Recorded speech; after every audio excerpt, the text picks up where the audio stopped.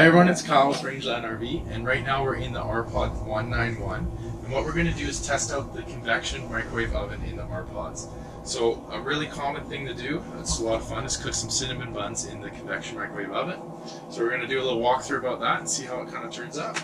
So the first thing you want to do with the convection oven for cooking is you want to preheat it. So to preheat it, we'll hit convection, 400, and start. So it'll just go on until it preheats, and then as soon as it's done preheating, it'll turn off, and then we'll get the cinnamon buns in there.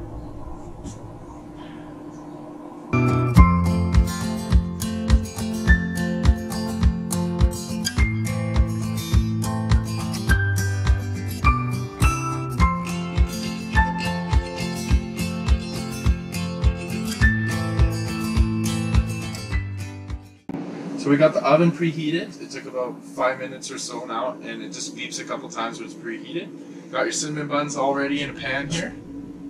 So we're gonna put these ones in. Go convection for 325 again. Oops, that's six minutes. Convection, 325, start. So now that it's going, we'll give that about once it just gets up to temperature again, then you can type in your time limit. So these are going to cook for about half an hour or so. So we'll come back and check them and, and see how well it turns out with the microwave convection oven in the RPod 191.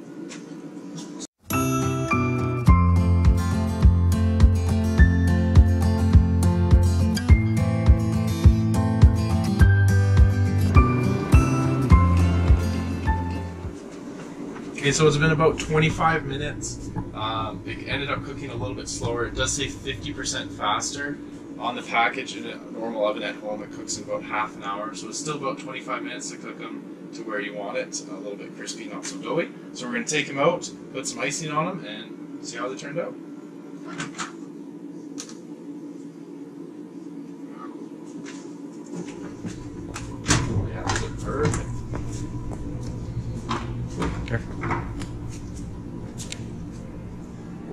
Okay.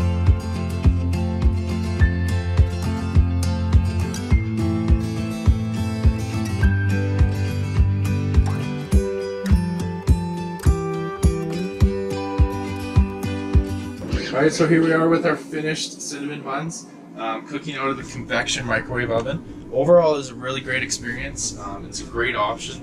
Sometimes the propane ovens in the trailers um, can cook a little hot, so this is a great option. As well, it's going to allow you to have a bit more storage in your kitchen area without taking away um, that extra space, and it's not going to heat up your trailer too much. Um, actually, not at all. Um, still get a nice smell of cinnamon buns in here, but it wasn't super hot in here, which is great if you're out summer camping and you still want to do some baking. And, and it didn't make the trailer smell like too much like cinnamon. Yeah, Yeah, it was- just a nice smell. Yeah, exactly. So overall, it's a really great experience. Uh, if you guys have any questions about it or comments, uh, please check us out at rangelandrv.com. And thanks for watching, and please like and subscribe for more videos.